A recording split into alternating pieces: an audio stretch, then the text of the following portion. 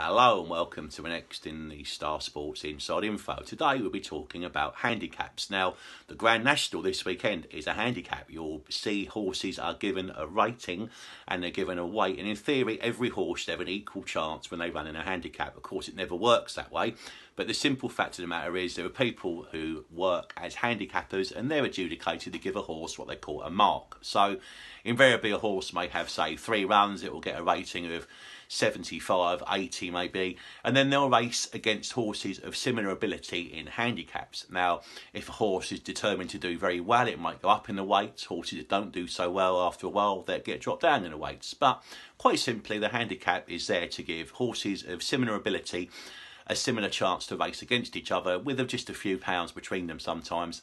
And it may sometimes give horses of lesser ability a chance to run against uh, far better horses in, in wider range handicaps. Say a horse will carry, say, eight stone, another horse will carry 10 stone. Sometimes in theory, a horse on the flat, you know, getting two stone from a better horse, they should in theory give themselves an equal chance. Same applies over the jumps, like the Grand National, to say this weekend.